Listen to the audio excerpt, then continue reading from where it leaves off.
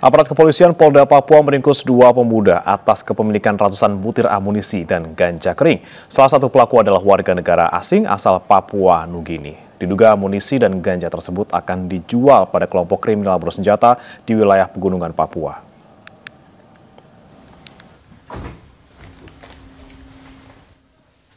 Dua pemuda inisial CH dan FK diringkus aparat kepolisian Polda Papua atas kepemilikan ratusan amunisi dan ganja kering.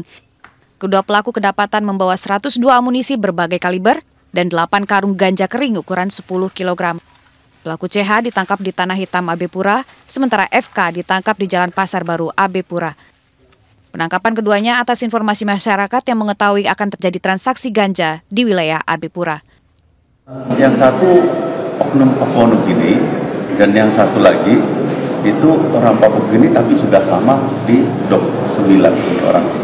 Dia sudah lama di sini. Jadi dua, tapi yang lainnya masih kita uh, lakukan penyelidikan pengembangan lain.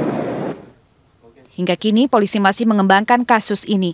Dugaan sementara, ganja dan amunisi akan dijual kepada kelompok kriminal bersenjata di wilayah pegunungan Papua.